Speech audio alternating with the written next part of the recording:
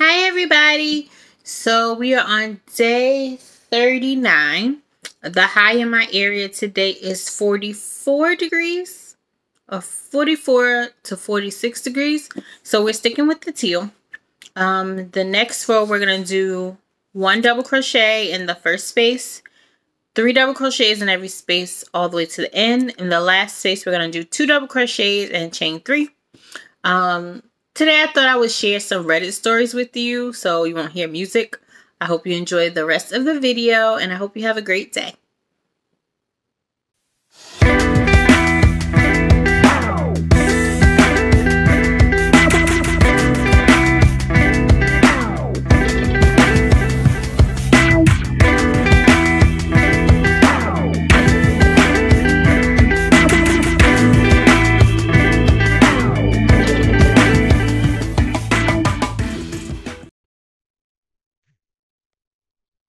This story is from the subreddit Malicious Compliance, and the title is Oh, You Won't Let Me Do My Job? Okay, then. I'm currently working at a small office doing customer service to Finance University.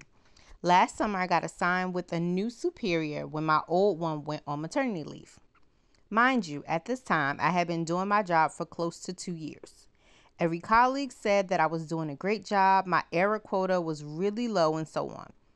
So my primary task is answering the phone to help customers with all different kinds of questions they have. Secondary tasks include answer oh, include handling the mail, check-in application forms, etc. If I don't know an answer, I'll transfer the customers to the next level support, which is really just my colleagues without a fixed term contract. The guy I was assigned to is the most aggressive, micromanaging dude one could imagine. He insisted on sitting next to me for a six hour shift to supervise how I talked to people. Pretty sure that was illegal since he could hear every customer call with me. Since that made me incredibly nervous, and I told him that, I was very careful and hesitant with my support on that particular day. Other colleagues told him about how satisfied they were to work with me, but he still decided that I was too incompetent to give out qualified answers beyond first level support. Well, that's how my new supervisor decided that I wasn't good enough at my job and forbade me to give out information on my own without double checking with the next level support. In this case, him and some other colleagues first. Let's just say that in my pettiness, I have redirected every phone call that falls into his domain straight to his phone for the last few months. His call quota went from roughly two to three calls a shift to about 20. Whenever he's not in his office or doesn't pick up his phone, every customer gets his work mail address so he can answer stuff properly since I am too incompetent to give out answers I have known by heart for two years. Oh, and since he also forbade me to do things simultaneously, i.e., answering the phones while working through application forms, etc., because that would increase my error quota never happened. I collected a nice amount of overtime. Overtime hours aren't paid out where I live, meaning you have to take days off to get rid of them. I am currently eligible to leave roughly three months before my contract ends, so I have no vacation plus overtime left when my last day arrives. That's three months of him having to do my full time job because he can't get another student to do it before my contract officially ends. Edit. Forgot to mention that I do my little shtick with him and him only. Whenever a call falls into the domain of other coworkers, I still do my job as usual. All right, that's the story, and here's some comments. In the future, when someone pays you a verbal compliment, do not ask them if they're willing to take a moment and put it in writing to your email.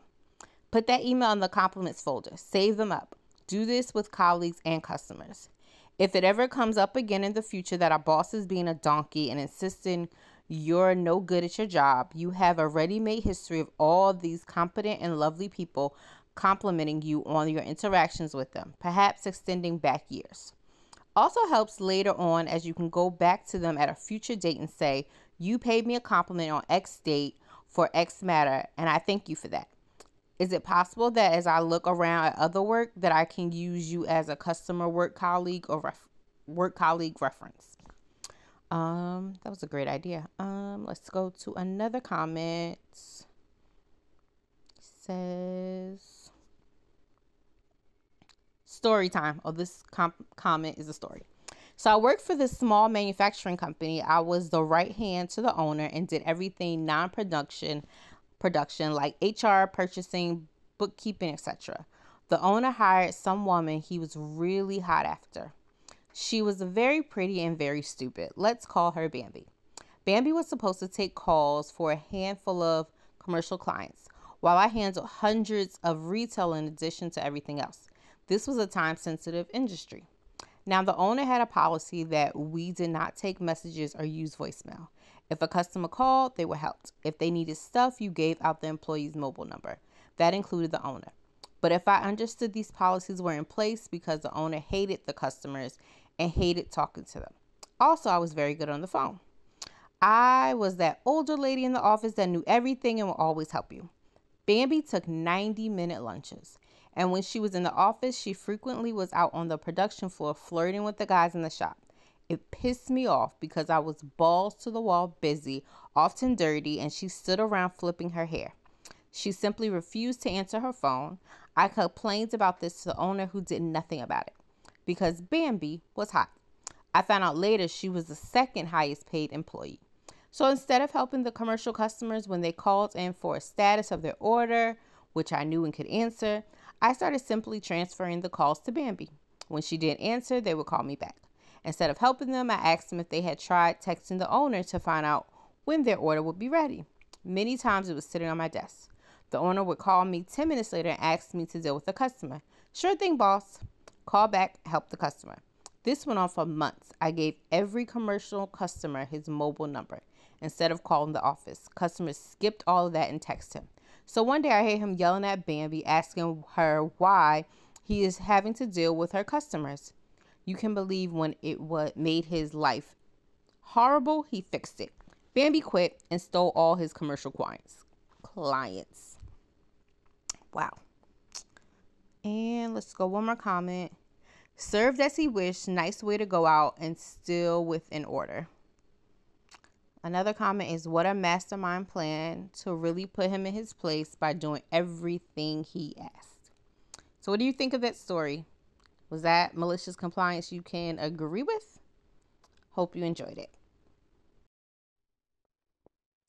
So, this story is from the subreddit Am I the Butthole?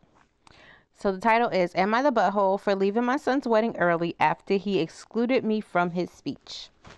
I have a 23 year old son, Justin, who got married two weeks ago. I wasn't physically involved in Justin's childhood because his mom and I got separated and I had to travel a lot for work, so his stepdad was more available than I was. During his teenage years, Justin started having fights with me, saying stuff like I prioritize work over him, that I'm a Disney parent, but I was never there for the hard times even though I provided for him financially, but claimed that it's only because the law made me, which isn't true at all. And I strongly believe his stepdad was feeding him lies. In the past three years, Justin started coming around and I met his then girlfriend, now wife. When I heard that they were getting married, I decided to offer paying for the venue, and Justin seemed very appreciative of it.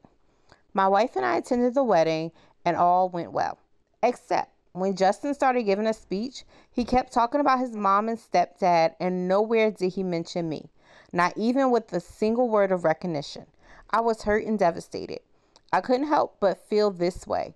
I tried acting normal and keep my composure, but I felt so heavy. I decided to leave the wedding early. I went home and broke down, but then I calmed down. Justin called asking why I left so early. I said I felt sick, but he kept pushing till I told him that I got upset that he didn't mention me or recognize me in his speech. And he said that I was being ridiculous to get upset over that. I asked him to respect how I felt, but he argued he wasn't going to lie to make me happy. I asked what he meant because, as far as I know, part of his wedding was paid for by me. He said I was unavailable, then hung up.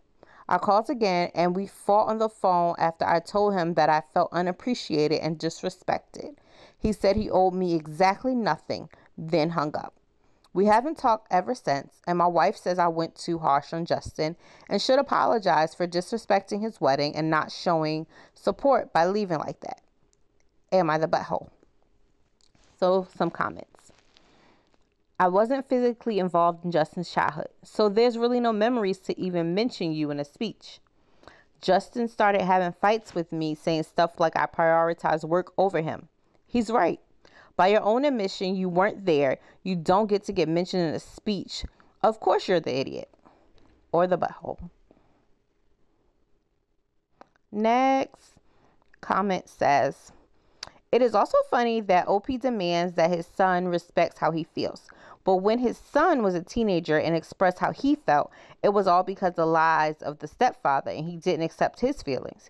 He seems to always he seems to always thought that money is enough to be a good father. Ridiculous. He should have been happy to be included in the wedding at all, but no. All he cared was me, me, me, not his son and his happiness. You are the butthole. We'll read one more comment. This one says alternative title. Am I the butthole for trying to buy my son's love? Spoiler alert, yes. So, what do you think about that story? I hope you enjoyed this one as well.